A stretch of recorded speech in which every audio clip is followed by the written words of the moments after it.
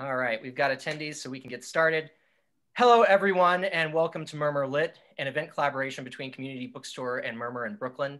My name is Hal Lavinka, and I'm the event director at the bookstore, and I'm absolutely thrilled today to welcome the one and only George Saunders for the launch of his new book, A Swim in a Pond in the Rain, in which four Russians give a masterclass on writing, reading, and life in conversation with Nana Kwame Adjei-Brenyah, uh, while the pandemic has taken a toll across all of our lives, virtual programs like the one you're about to see have become bright spots in our days.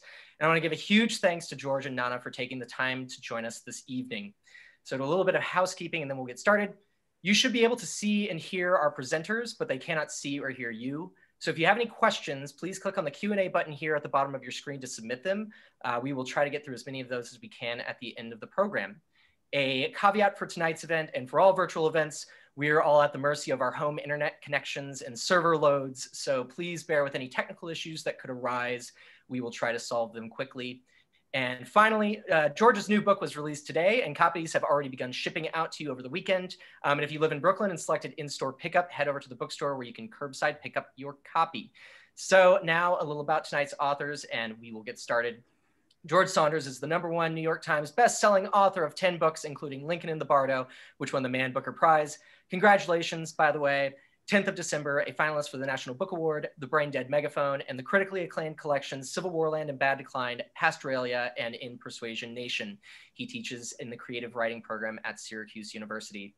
And Nana Kwame Adjei-Brenyah is the New York Times bestselling author of Friday Black, Originally from Spring Valley, New York, he graduated from SUNY Albany and went on to receive his MFA from Syracuse University.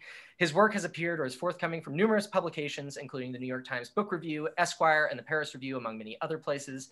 He was selected by Colson Whitehead as one of the National Book Foundation's 5 under 35 honorees. He's the winner of the PEN Jean Stein Book Award and a finalist for the National Book Critics Circle John Leonard, John Leonard Award for Best First Book and the Aspen Words Literary Prize. So, George and Nana, the stage is yours. Thank you so much. And, you know, I'm super excited to be here today, George. As you can see, I've even worn this old world relic. I think it's called the tie.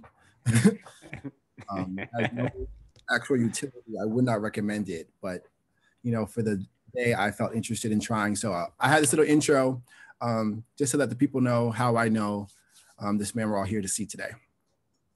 So, in George Saunders' story, Sea Oak, the characters live in a not great situation and are desperate to improve things. At the time I read it, I could associate with this deeply. I was living in a sea oak of sorts, and it wasn't just that I could understand the story and knew the story understood me. It was that I could feel the author taking me and the story's journey seriously. Even while there was somehow a bright and dark humor that made the whole thing work. That story taught me something I've never forgotten. In the acknowledgments for my first book, I thanked George for teaching me to laugh in the dark, one of many lessons of his I apply to both my work and my life. Also, that story contains one of my favorite passages in American Letters, which I offer now with no further context. Show your cock, she said, and died again. my senior year of college, it was announced that the George Saunders was visiting the university at Albany I attended. By then, I had applied to Syracuse because I discovered what an MFA was by Googling the name George Saunders. What I learned was it was an idea that seemed impossible. Three years to work on writing with legends, including my favorite writer. I applied. When Saunders visited, he did a brilliant reading, and I sat in the crowd defeated. Defeated because somewhere over the course of his talk, he'd mentioned Syracuse and how only six out of 600 students were admitted. I took this as a personal sign from God, meaning, don't beat yourself up when you get that rejection in a few months. You didn't have a chance. So when the Q&A portion of that event arrived, I gathered the remaining conviction I had and rose my hand. I decided that if I couldn't get an MFA, I would ask a question while I had Saunders there in front of me. I asked him how he was able to have such rough stories without being cruel to his characters. Why didn't I feel like he was being cruel? He answered beautifully. I genuinely felt satisfied that even though I had no chance at the MFA, I had gotten word from Saunders himself, and maybe that was enough. Somehow I got into the MFA. And around George, I was pretty much a spaz. I couldn't really talk to him for like almost the first year because even though he moves with a perpetual kindness and grace, it was all too much for me. I was lucky enough to take several courses with George, and in those classes, I learned the most important tool a writer has is close reading, a tool we'll talk about much more this evening. I learned what it means to be a generous reader. I saw what it was to manage a class full of bright, sometimes psychotically ambitious young kids from Spring Valley, Rockland County, by way of SUNY Albany, who want to be so good at writing and makes them terrible at everything. George became my thesis advisor, reading for anyone else what would become my first book, Friday Black. He helped me figure out who I am as a writer. During our sessions, I would beg him without ever actually asking, should I be this kind of writer or that kind of writer? Surreal or realistic? Please, George, tell me what kind of writer I should be. George, in his infinite wisdom, when I tried to get him to tell me if I should be this or that, would always answer simply yes. After one of our classes with George, the department had us write an evaluation as they always do. I remember writing, George's course was like church for writers. What I meant was each class session felt like we were partaking in the sacred, that we were discovering what it meant to be artists, that we were communing at the highest level in the name of the word. George has won all the George has won all the awards. And if I listed them here today, this already too long intro would probably double in length, but I will tell you this, and it should be obvious because I would never go this hard for any white guy unless it was true.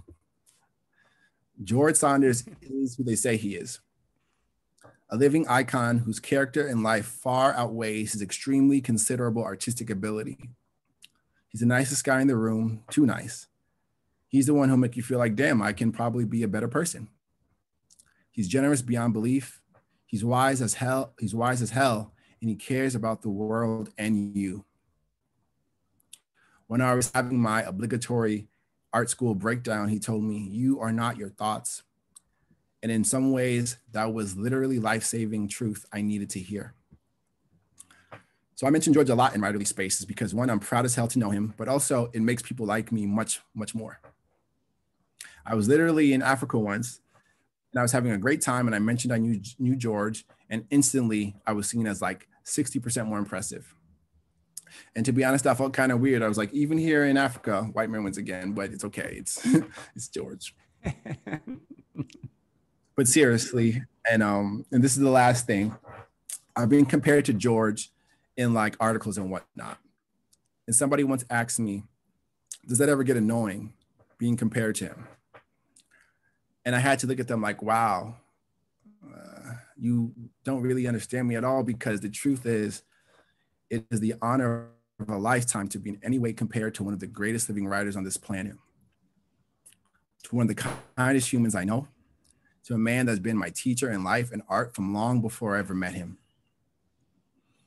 It's an honor because all I could ever want to do for a reader is what George has done for me.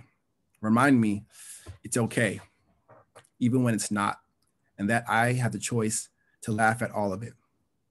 So please, disembodied heads all across the interweb, I won't see you, but take this moment to give a big round of applause to my teacher, mentor, friend, the legend himself, the one and only George Saunders. And this is where people are doing this. Yay. We'll be going for another couple of seconds. And now. yeah. Thank you so much for that, Nana. Oh my God. I, I think we should just stop right now and I'll go upstairs and weep a while and then we could call it a night. Thank you so much for that. It was lovely. No, um, it's uh, I'm very happy and excited, very genuinely to get a chance to do this. Um, it's an honor for me, and everything I said was really true. And you know, I the funny thing is that intro was one third of the length it was gonna be. So I didn't want to do the intro and then be like, now we have time for one more question. Uh, so yeah, I'm super excited to be, and um, I'm super excited to have this book, A Swim in a Pond in the Rain, out in the world.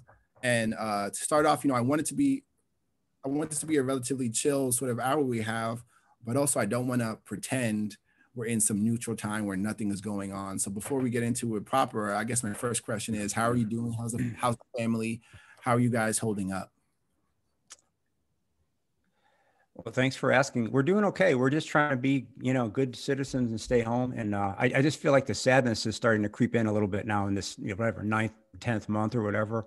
But um, I, I kind of told myself early that it's, you know, the job is to stay home. If you can, you stay home. So trying to do that, and I guess just kind of trusting that whatever is going on, it'll, it'll, you know, get into me and get into the work and and uh, get cleaned up in there. How, how are you doing?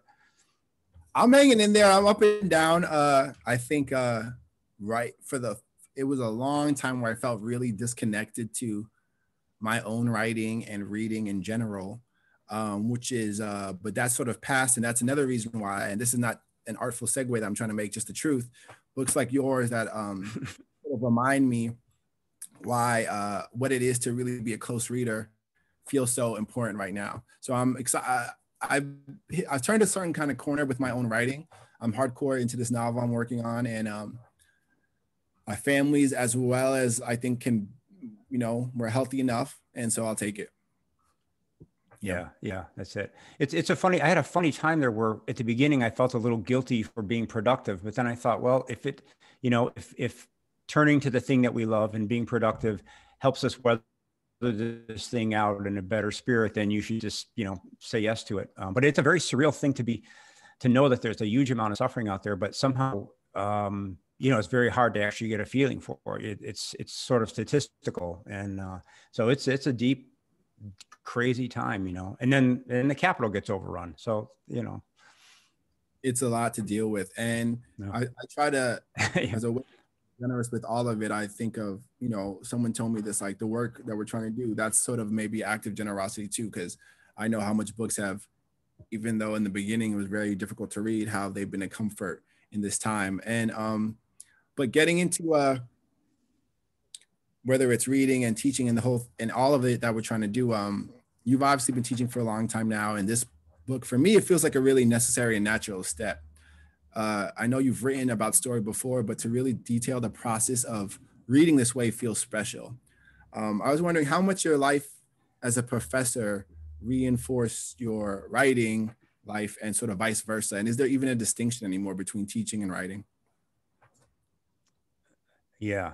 You know, we were talking beforehand. I think you were actually in the last class that was actually the Russian class. I taught for 20 years. I don't think I'll, I'll, I'll be able to teach it again. So that was um, I, I, think it's been really mutually reinforcing. You know, you um, uh, to, you know imagine that for 20 years you get to go into a class with people like yourself, you know, and who who are freshly in love with fiction, and then you all get to take it seriously together. You know, it's it's the best. And um, so, something about the idea of, of kind of saying, all right, we if two human beings huddle over a text, you know, and and look at it together uh, certainly they're bonded to their reader, but they're also kind of bonded to each other. So in those classes, you know, those moments when the teacher student distinction would vanish and we'd all be kind of trying to figure something out and somebody would yeah. shout something brilliant out, you know, those, those are um, really at this point in my life, I look back, I'm like, I don't really know that my work will last, you know, but, but I think those moments are, are, uh, those are really to, you know, to be proud of, I think. Absolutely. And spoiler alert, uh, your work will last. um, the, that kind of connects to um, something um, the, the question I have next, which is kind of like a, I guess, my personal curiosity question. And I thought about it in several instances. I remember being at AWP after you had done the introduction and sort of the swarm that had gone around you and the excitement in the air. Uh, I basically just imagine there's a lot of pressure with being sort of like George Saunders, the author, in the last couple of years, uh, which basically means being one of the most widely respected artists in our field in the world. And I remember at Cuse, you did a really good job of sort of absorbing the weird energy people like me would sometimes bring into bring into the class, and you sort of put that aside so that it was never about you per se, and was always about the work. Um, how do you manage the, way you are perceived artistically, like you as an individual, and um, how does uh, and how basically the way, the way the world sees you and how does that if does it in any way affect your work or your teaching? Yeah. I, I think the trick is uh, you know to, a book like this is a way of getting back in touch with the, the kind of the wellspring you know these like these R- russians are so great. So for me over the years the, the the semester has always been a nice way of saying okay the world is saying nice things to you. But when you go read Tolstoy, you're kind of like, well, oh, okay, wait, no, that's kind of a little bit of smoke, you know. Yeah. So it, to to go back to these great writers again and again is to kind of be recalibrated and go, well, it's it's nice if if you're doing well, that's nice, but let's not keep our eye over there. Let's keep it on the on the you know these these great people. Uh, and then also, I think part of you know, I don't know if you feel this, but I feel like part of the the toolbox that a writer has, one of the tools is is sort of um, a constant self doubt. You know, feeling like even if the world is liking something you do, you don't quite believe it. You know, you've got something in you. I've got something in me that wants to do good things uh, and is really willing to work hard to um, to do it. Partly, I, guess, out of self doubt, maybe. You know, so it, I kind of, I guess, I kind of rely on self doubt. You know, you, if um, yeah, and also, you know, I think we talked about this before. The, the end game for any writer is a long, productive career where you get to burn through your stuff and, and get to the big questions that are vital for you. To do that, you have to do a lot of things along the way. And one of them, I think, is to get a, a handle on praise and blame and all that, and just sort of um, find a way to soldier through it, you know. And, and uh, yes, and I've watched, you know, that that was amazing when Friday Black, uh, when Black Friday Black came out. It was amazing to watch you deal with that, and you were so gracious all the time. And I saw you with our students, you know, who were Georgia cut who had been your colleagues just a, bit, a few before. But um, I think it's oh, sorry. while you're getting reconnected, I, mm.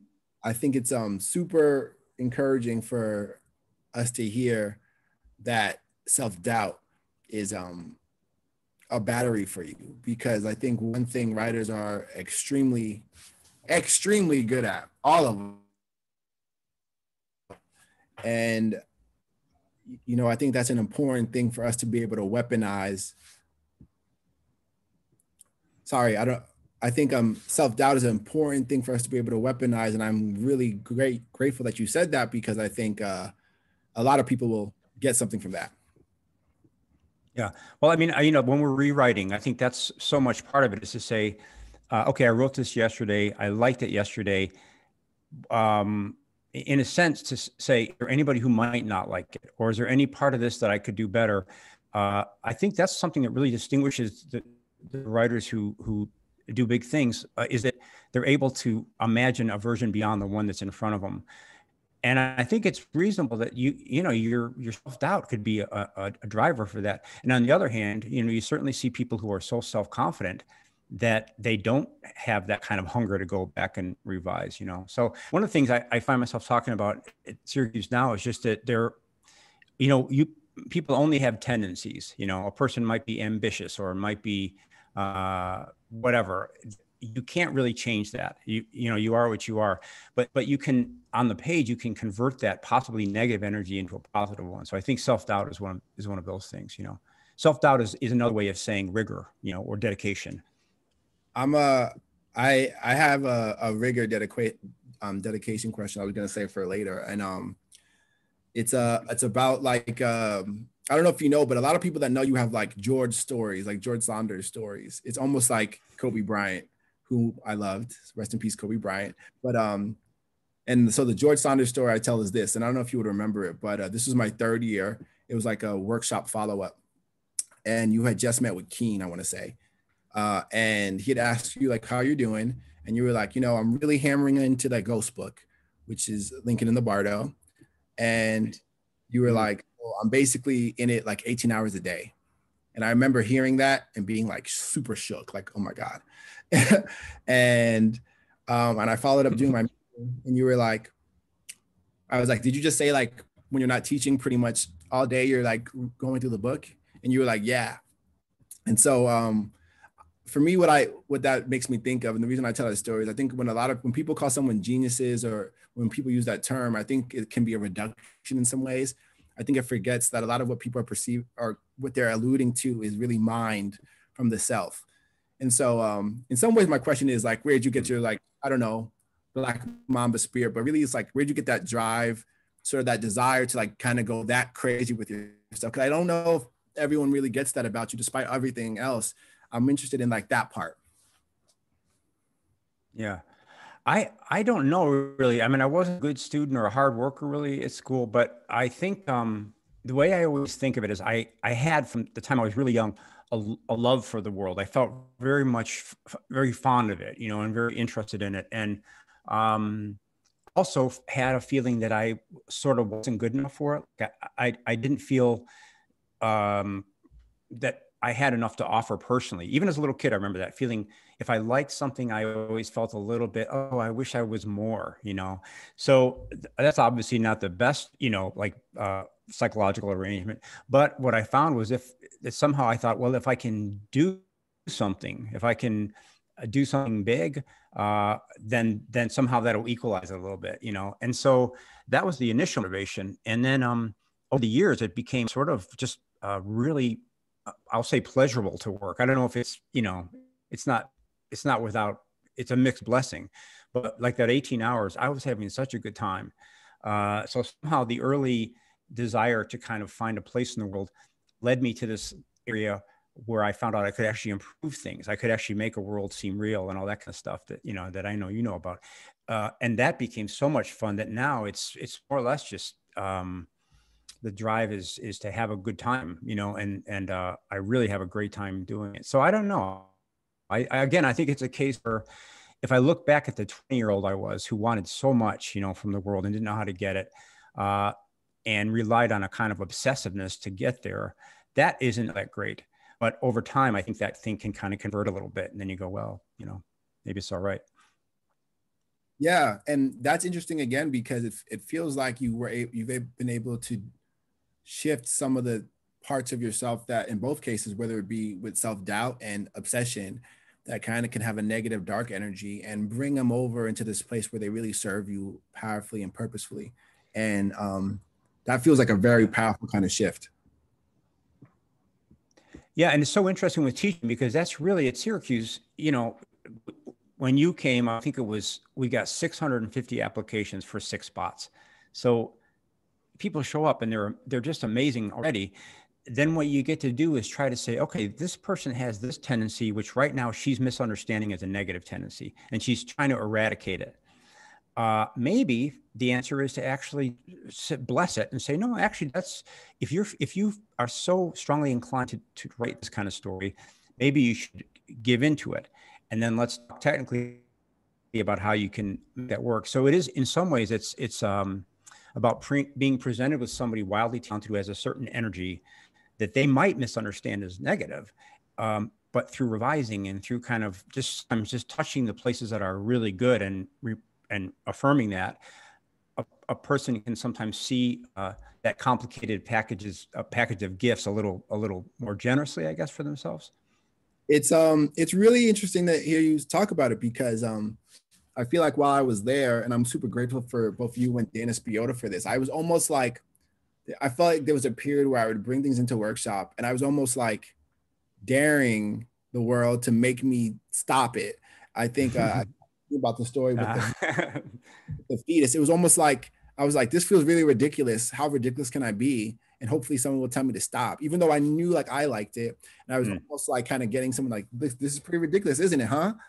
And I'm super grateful for how mm-hmm. all of you guys, but in my mind, particularly you and Dana, I had Dana first year, um, really didn't shut it down.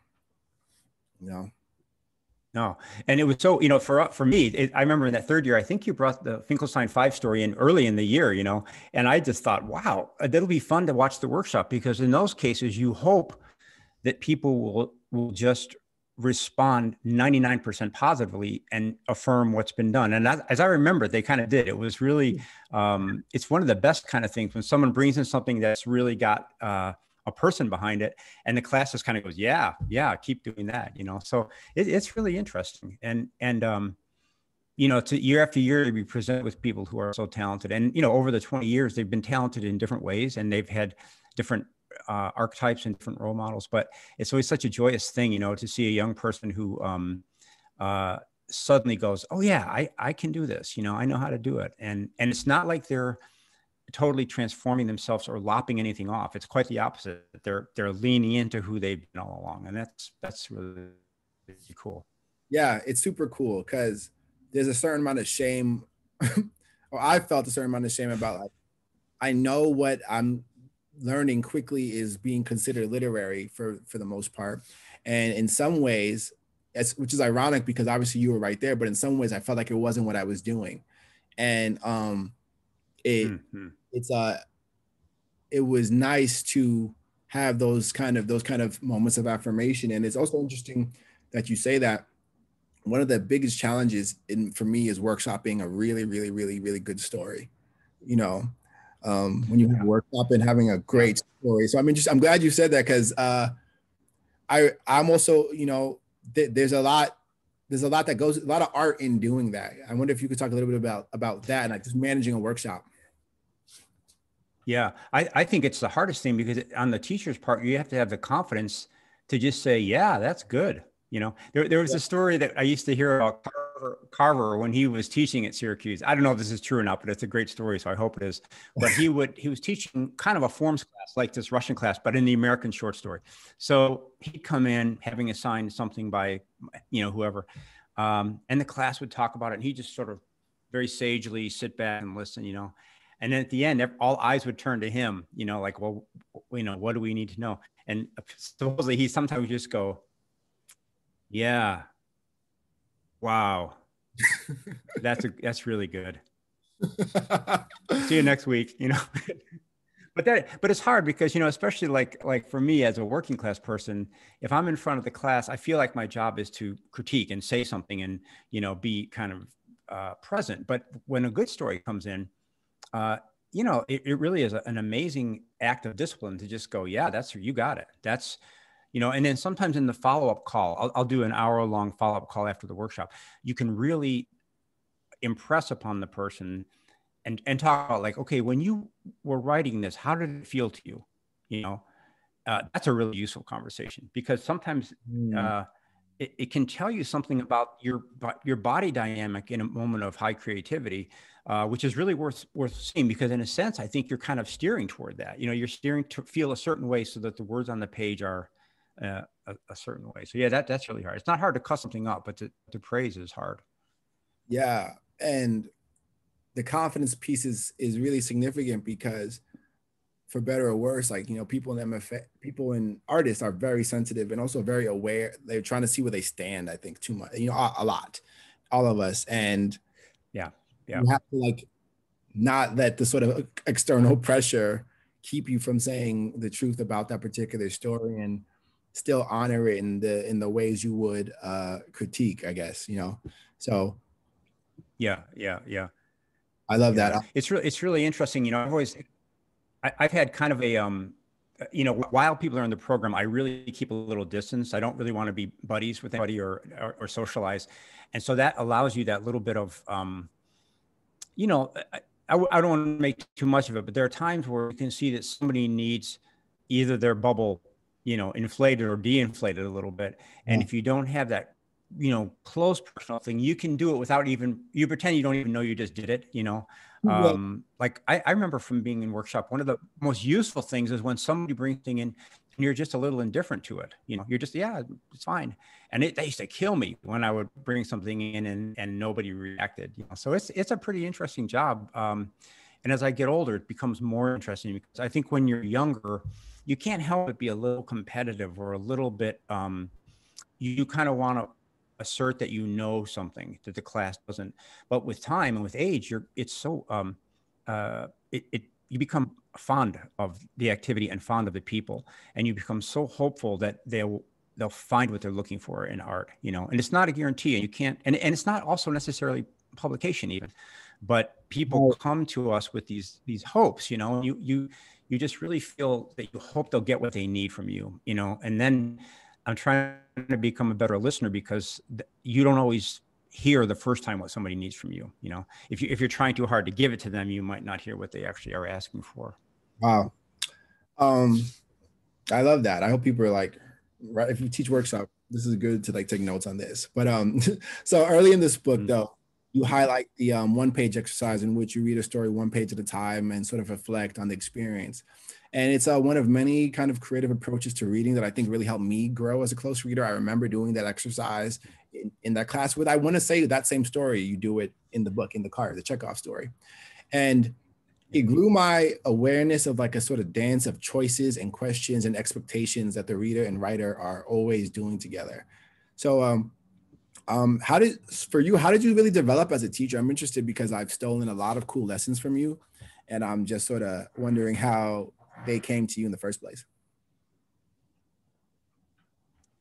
I think a lot of it was sort of just improv you know like um, when i was younger i would kind of not think about teaching until a day before you know kind of like ah but also i was I, here's the thing at syracuse that i think is that we do that's really smart we all kind of um, agree that first we have to be good writers to be good teachers so it's kind of assumed that you're going to be off really working on your stuff and then the teaching will come and will be taken very seriously but it's a mix you know you, it's not so i would often be working on some story that i was really you know, loving being inside of and working, working, working. And Tuesday would come along and um, I would just think, okay, what do I need to do? And in that mode, it, there's a kind of urgency like, okay, well, really, what would be the least bullshitty thing I could do tomorrow, you know, um, to, to, to, to teach. And one of the things I always noticed was it's, it's a, it's a, such a buzzkill when you start talking about a story and somebody becomes very academic about it. You know, you're talking about a story and someone says, well, I think the, the patriarchal aspects are, you know,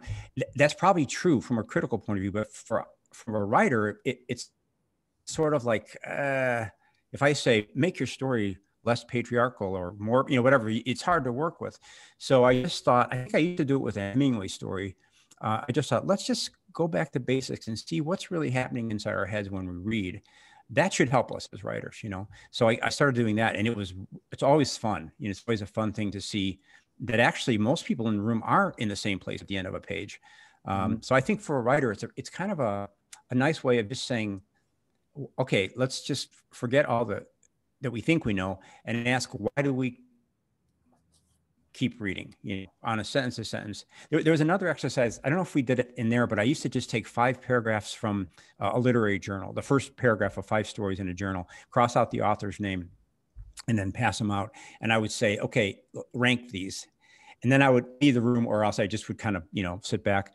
And I never said on what basis. It's just just rank them. And of course, you know, the, the students there are so great that they would just instantly leap into it and start ranking and at the end you put it on a board and see you know and you start talking about where did you decide that you hated this story you know mm. or when did you when did you feel pulled in and you know you can always put it at a certain line there's some line where story goes off the off the grid or or one line where you go okay i'm reading this to the end uh, so that's the kind of a you know a fun one oh and i'm also gonna i'm gonna write it down in a second because that sounds incredible um and thinking about uh, when people get disconnected and sort of maybe grow to hate a story and also just line by line, one of the things you taught me was sort of line level attention can solve almost any kind of moral ethical problem in the story.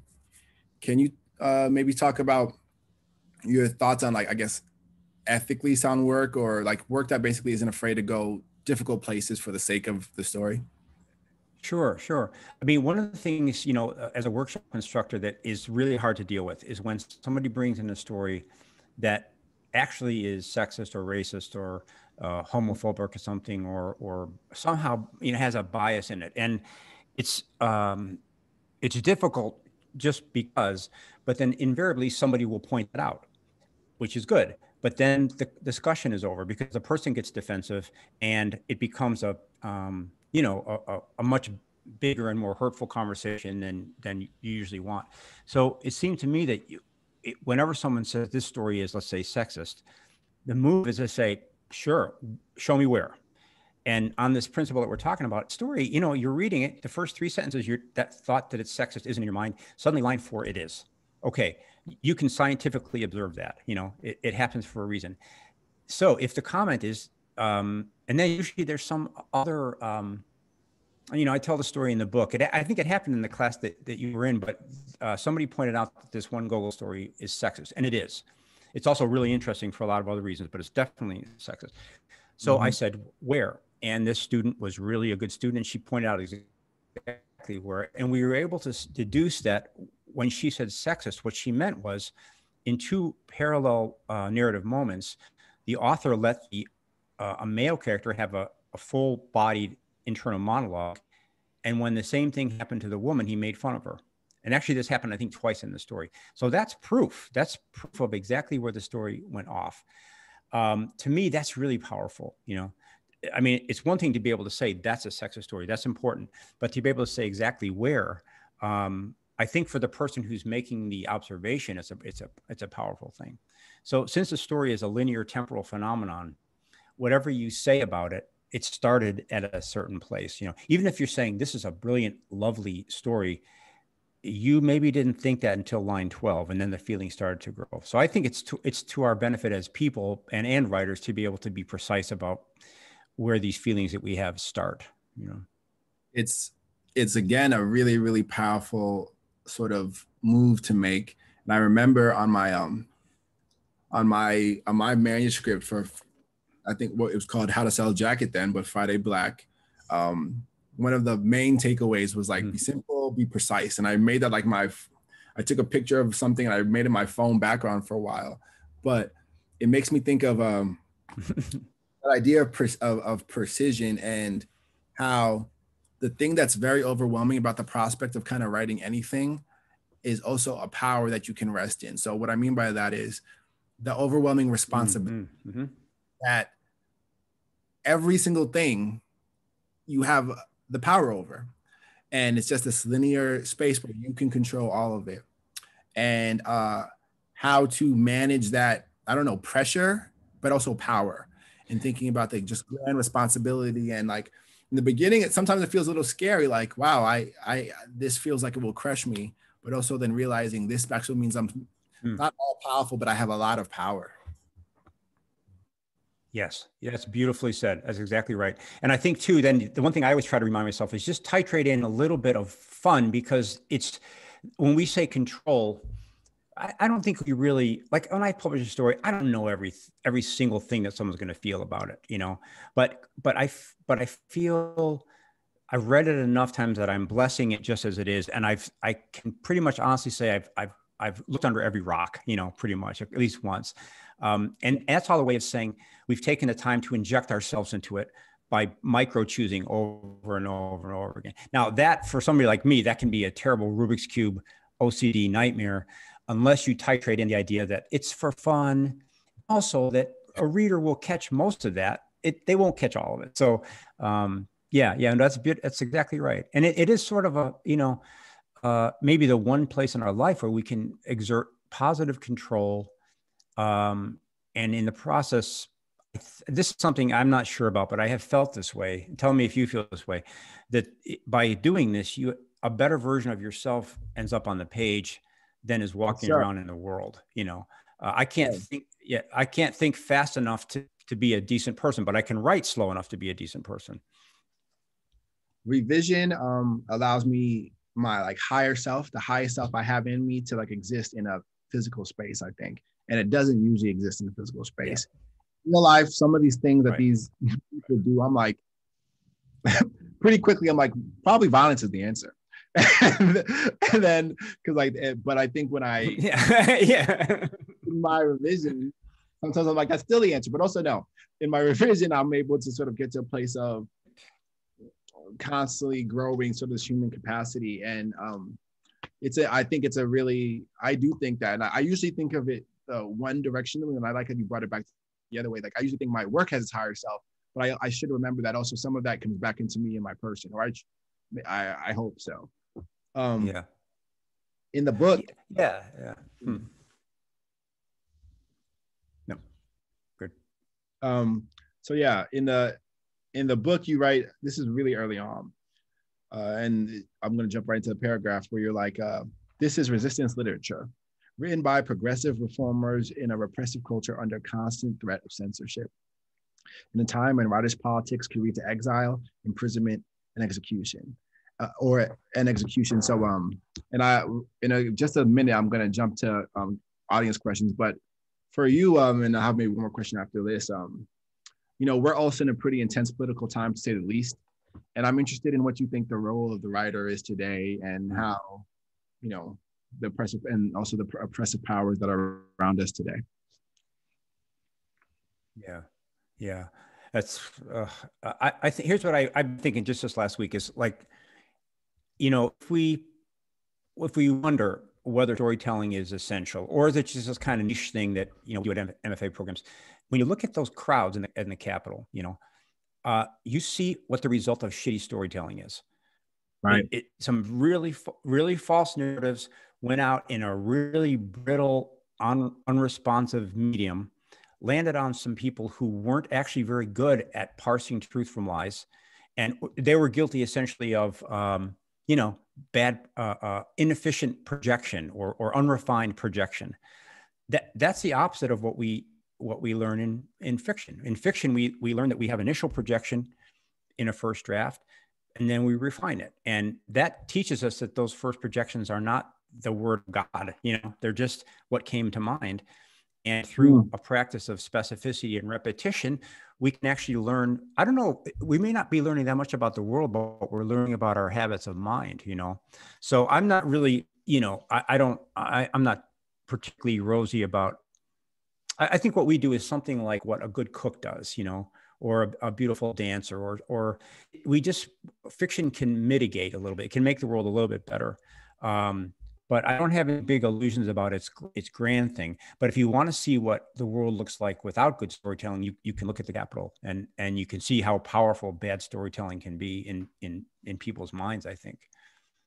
That's. I what think, is your answer to that question? I want to hear it.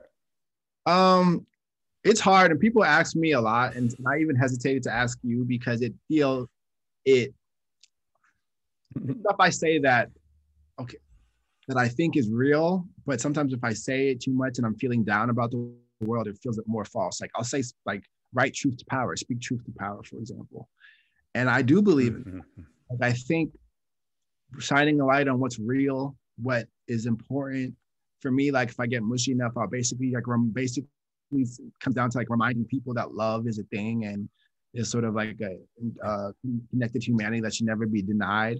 But also, um, sometimes it's uh, just to uh, give a, create a not a safe space, but a space for someone. Create a space. Sometimes it's like space, mm-hmm, maybe. Mm-hmm, mm-hmm. And um, yeah. and for me, like in reading this book, and I'm gonna make sure I talk about this book because I feel like have I not mentioned enough? Um, it's it makes it brings me back to that classroom space space, which I haven't got to be in, a, in that context in a while, which is a place where not that I thrive, but I feel like I could thrive. And in this moment, that feels important to me. So that mm-hmm. space afforded feels like really powerful and essential. Um, so that's one thing. For me, I think the the truth to power thing is big and like uh, sometimes planting seeds that manifest in something else later on down the line is really key. So, um, but I also think for everybody it might be something different. I think that's okay. You know, I don't. Uh, yeah. I also try to resist like, you know, I don't think just writing is like everything, but I know it's. I do think it's a thing for sure, and it does feel yeah. particularly yeah. counterweighted against uh, these other people who have been mobilized by. I like how you said it, shitty storytelling. So yeah, yeah, I love um, I I'm gonna I have more. I'm gonna I gotta let these people ask questions because it's I, I, know how it feels to want to ask George on this question and not get it in. So uh, maybe I just go down them now. Yeah, I'll go. I'll try to get some in. Um, so this is a question. So this book, if people didn't, if people missed it, it focuses specifically on uh, four Russian authors. And so someone asked, what was missing in American stories that you found in the Russian stories? Yeah, that's a great question. You know, I, I don't really know, but I'll tell you the way it, it, happened was I taught this class when I first started teaching, and it was so much fun. And it was just like um, I felt that the stories were suited to my teaching style.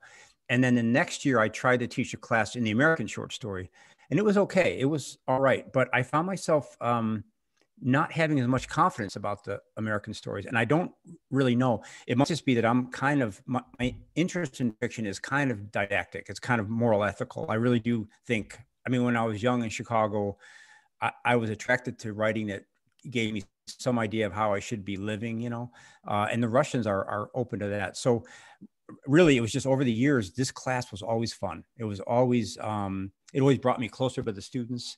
Uh, it always and whenever I would teach this class, I'd get a little burst in my own writing, you know. So So uh, I haven't quite figured that the answer to that out quite yet, but it has something to do with the moral, you know, the moral prerogative. I remember it being kind of like the signature class, and everyone's like, "George, doing the Russians class again," and it was yeah, like yeah, I love it kind of deal. Um, yeah, I'm gonna ask some questions that overlap with what I was gonna ask anyways. Which is that ethically okay? It's okay.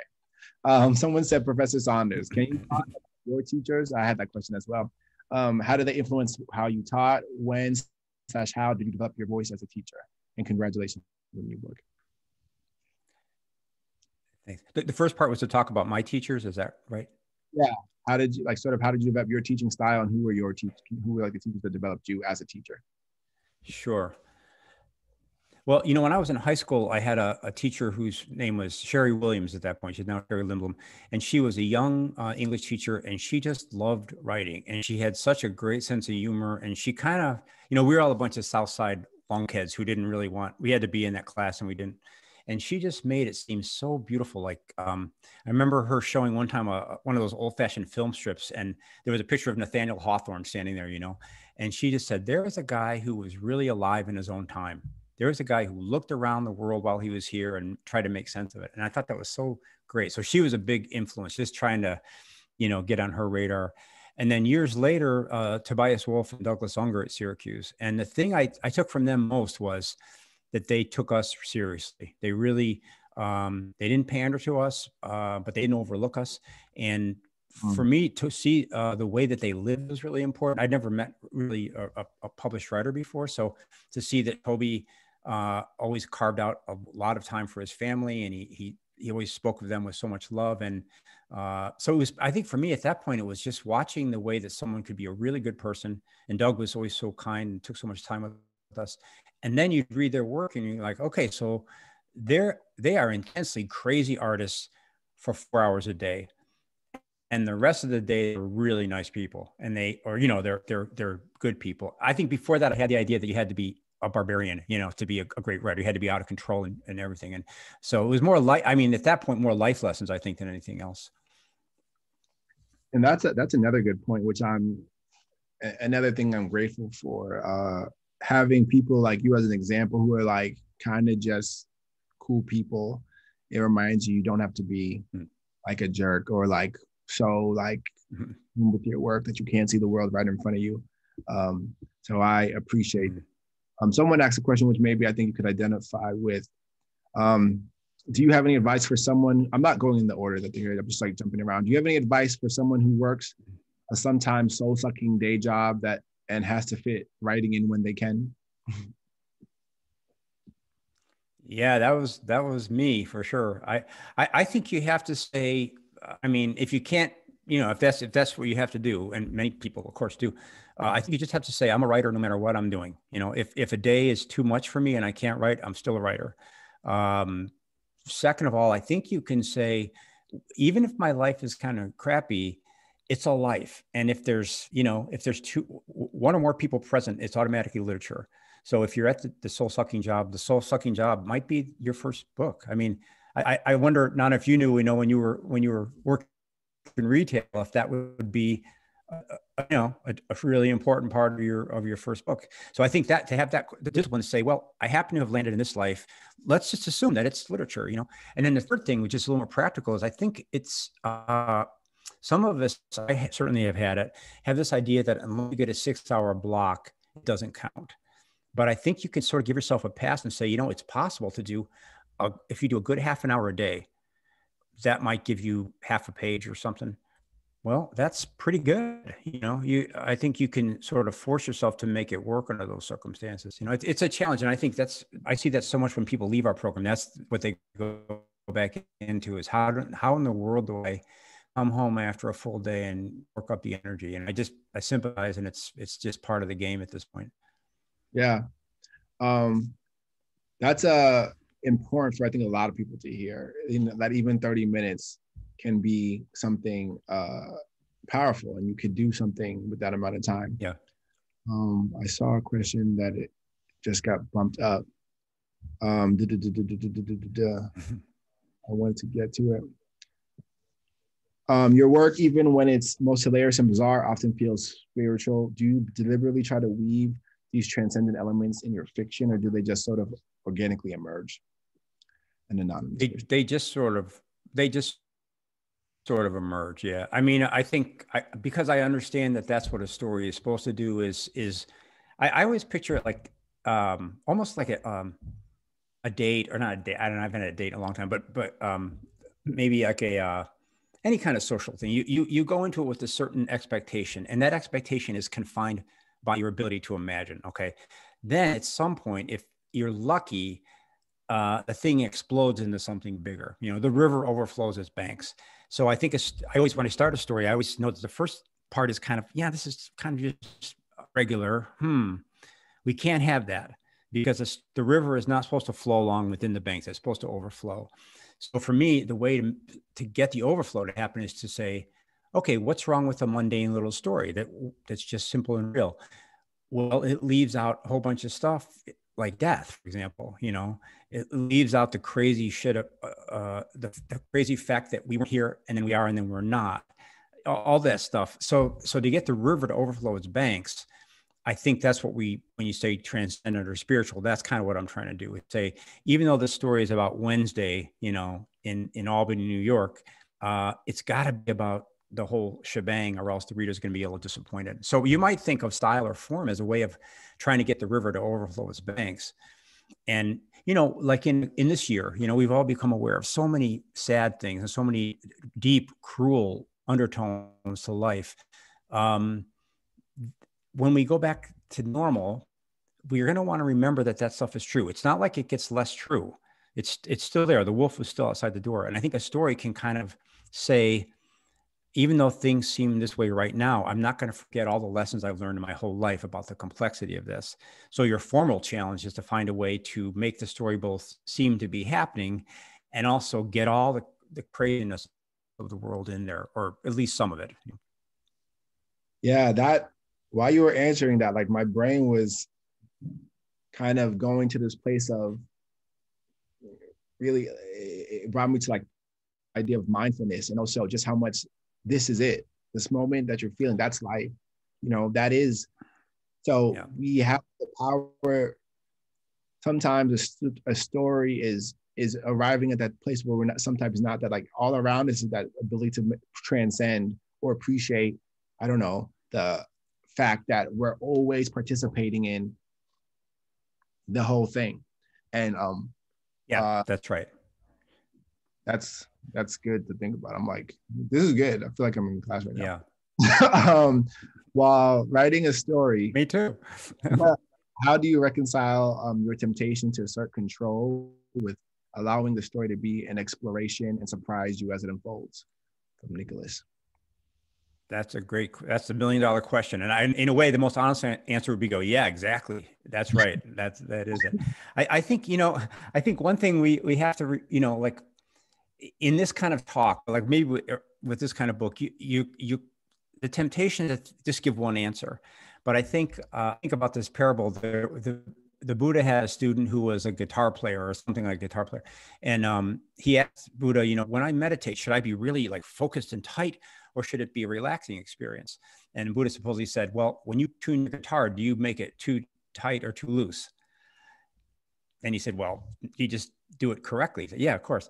So I think with these things, we know that there's one temptation, which is to over control the story. And as we talked earlier, be responsible for it. That's the job. But we also know that if we do that, we're going to get a reductive piece of shit the reader sees coming from a mile away. So we can't do that too much, you know.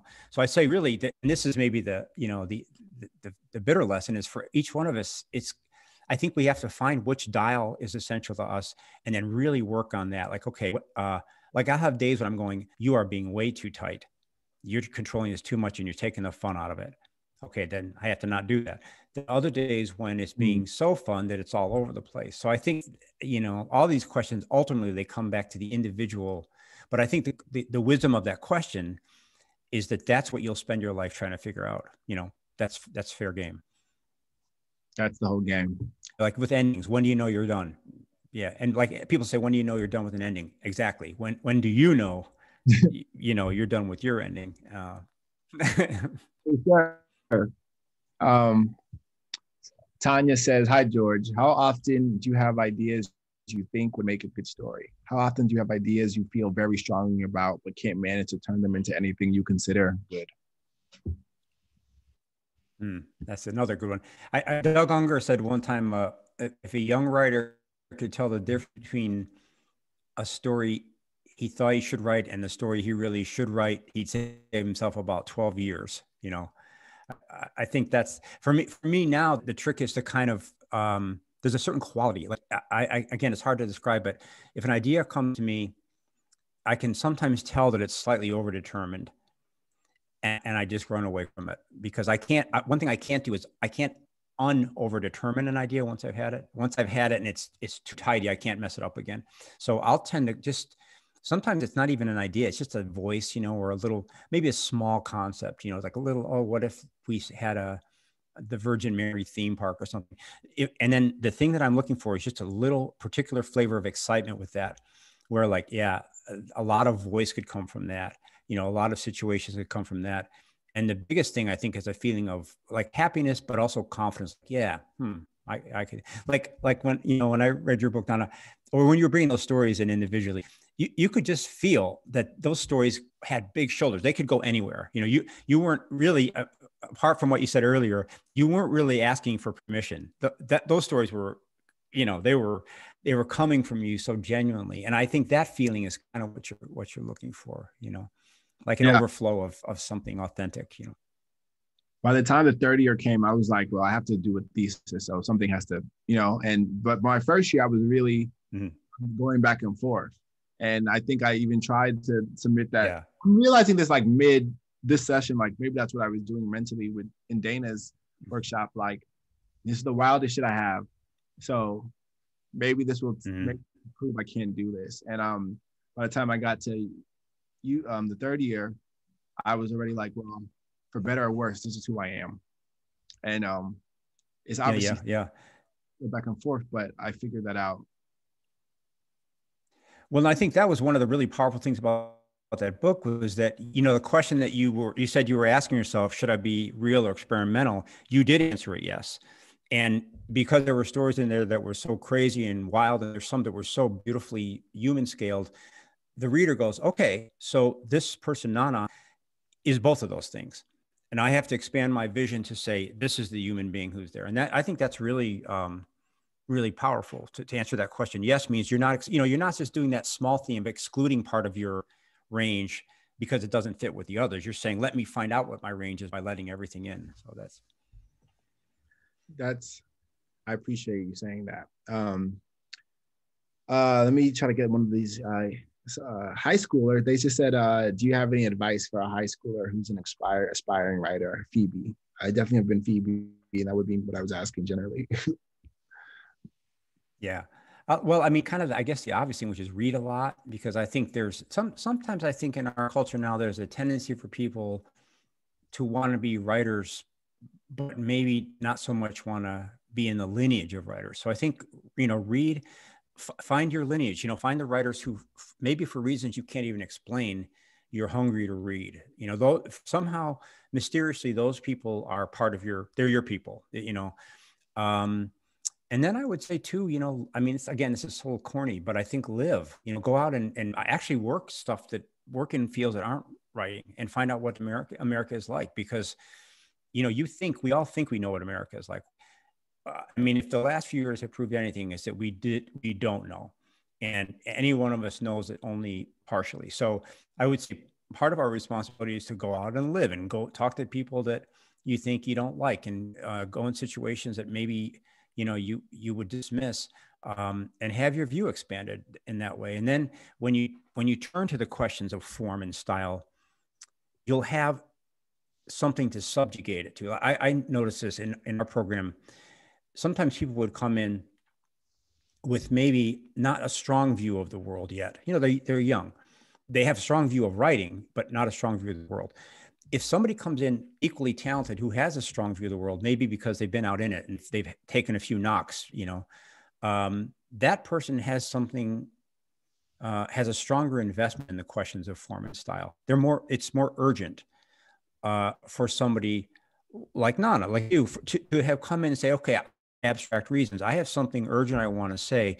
Let me burn through some styles, figure out which one is the is the best. That's not an empty gesture. That's an that's an urgent gesture. So I think to live uh, in that you know that old Russian way, like what's this all about? You know, let me go out into my culture and don't prematurely love it or prematurely hate it. But first, let's see what it is. Then the burning knowledge that you have from that, you're going to try to find artistic forms in which to position it, and that's great. You know. Wow, that is a good answer. That's a good answer to that. and and for God's sake, go to prom. Go to prom. That's the other thing. Please go to prom. Oh man. Um still, I mean, if you don't mind, I'll ask a couple more questions. Uh, and if you have any, like, I don't know. Man. Um, let's see. Um, this is from Naomi. Uh, do you think it's true that mistakes can be great teachers? What's your favorite mistake from your career as a writer? I think mistakes can be great teachers. Yeah. Um, well, I mean, my my mistake the, for me was that I had uh, very little.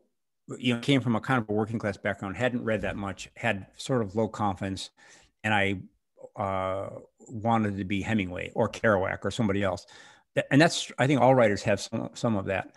Um, so that was a mistake because it, it say it again. No, no. I was I, was trying to be Denis Johnson. I think that was my like mistake. Yeah. Oh yeah. He's oh yeah. So that's that's a holy thing. It means that you have a strong relation to language and you know it. You know good stuff when you see it. But for me, it it it the big mistake was I wasn't.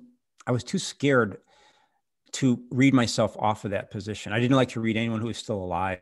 Uh, I, I, I read in such a narrow band, and that really held me back for a long time. And um, so that was that was a mistake. And but then what happened was it built to a critical moment when I was you know already well into my 30s and we had our family where I still was not writing anything like myself. And I had that terrible feeling that all writers know where you know that you know something.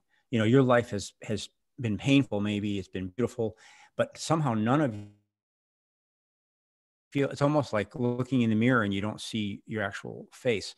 Um, so that kind of built to a crisis, and then that uh, the long delay in in uh, in I don't know in, in being honest, I guess, led to a kind of an eruption that was that first book.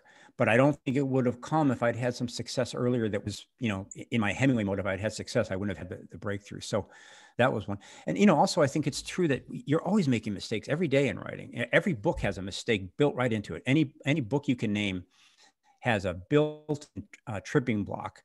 So I think part of the craft is to say, okay, in this book, what's so hard about it? Like, how could this book be terrible?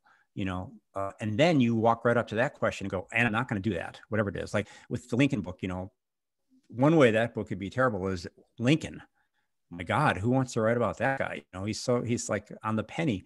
Um, but then, so part of it is to say, okay, the potential mistake is I could make a Lincoln who was too, whatever, too familiar, too cliche, to, and you know, in some ways, the the the best writing advice you can give yourself is, what's the problem, and then say, don't do that. You know, that there was a I, I knew this movie producer one time, and he he asked me to write a scene like a I said, I don't know, you know, if I if I if we film wrong, it could be so cheesy. And he took a long pause and he said, How about we don't film it wrong? you know, so I think that mistakes are what fiction is fiction is mistakes and then and converting the mistakes into virtues, I guess, something like that. Um, I'm sorry, I feel like Yoda a little bit, so I don't know. No, this is it. This is what I mean. I know, I know myself, but this is like what I bought my ticket for. Um, I think hmm. uh, and something you just said made me think of part of my experience in, in MFA, and it connects to a question that I'm looking at, which is what aspects of craftsmanship uh, will an aspiring writer learn in an MFA class that he or she will not pick up through their own reading and practice? And I what can connect the way it connects to what you just said was um some things just happened a little bit faster. Like I like I kind of knew I was pretending, but I was like kind of hoping that no one else would know. And I remember going to um, one of Arthur's workshops, and the one time I've really gotten like really, really like, you know, I don't know, destroyed in a workshop and I'm grateful for it all the time.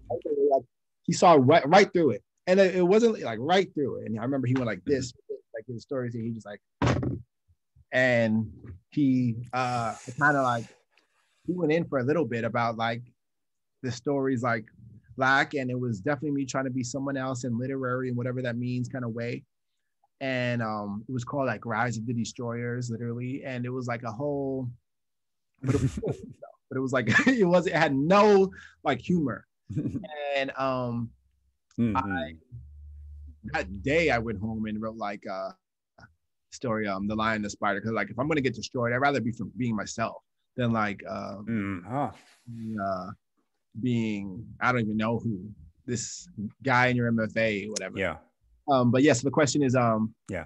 Uh, what will an aspiring writer learn in an MFA class that here or that they will not pick up through their own reading and practice? Hmm. hmm. It's a good question, and I think we, to be honest, we have to say maybe nothing. You know, I, there's a kind of a prevailing idea that if you're a writer, you have to get an MFA. And the other is if you get the MFA, you'll automatically be a writer. And I think anyone who's around these programs know that neither one of those is actually true. You know, so I don't think we should be, especially if there's a huge amount of debt involved. I don't, I, I, you know, it's not. Uh, but I, but I will say, I, I think yeah. as the years go by, wait, is that? I said like, yeah. uh, some of these are not ethical, and that's really clear. Anyways. Yeah. Yeah yeah no they, they they're they're playing on the notion that everybody has to be an artist and they're and you know so that's another topic. But i i think you know as i'm teaching along the part i really have confidence in is just that moment when uh i i, love i love to line edit a, a student story. And especially if i know them a little bit you know to line edit it and then have that phone call where we sit down and i say did those edits help if not, that's fine. But that's a really amazing way to get a, a, line on somebody's artistic personality is to line it at their work really closely and then talk to them about it. Um, it's not that they have to take it at all. That that's not the point. The point is just to show them that okay, actually, your true voice might be here with half the sentence cut out, or um, if you if you move this section over here, you see how your causality gets stronger, and then the whole thing comes off the page. Um, and then the, the, beautiful part of that is you can then listen to what they say about it you know? Uh, that is that i think you can't get any other any other way. And, and it doesn't always happen. I mean it's not that it's not like with every student every semester you have that moment but every so often you do. And that i think is is really you know i think that you can't get anywhere else. Yeah i felt super super super lucky. I remember coming out of workshops feeling like I, I mean i would use like whichever professor was like a master copy and then incorporate all these other people's like edits and like create this master one. And then with with your line edits i just looked at those individually and just getting the chance to have someone attention really close attention on your work that way is a super it, it's it's a it's a huge blessing. And the most important one i've gotten from my intersection with uh, academia generally i think what was lucky for me um I uh, had a professor early on, Lynne Tillman, who's pretty hardcore about her line edits. Mm. I learned to view that as like love. You know, um, I think some people yep. don't feel that, and it creates a certain kind of energy with their ability to receive that. But I yep. early on, I, I I was like, Lynne is taking me under her wing in this like really nice way, and she like obliterates my manuscripts. So I real I started thinking if people mm. write on it, it means that they care, and I thought that that was big for me. Yeah, yeah. Um, well, it was interesting too for, to to to work with you in that way was really was the case because um, some people are are kind of not they don't want to hear that they don't want to hear notes, but you but when we talked, it was always fun because I could see you're hungry for it, and also we had I felt like a kind of relationship where I could say the outer limit of things that I thought. I, I, could say the things that I wasn't entirely sure about, but I could push them over to you.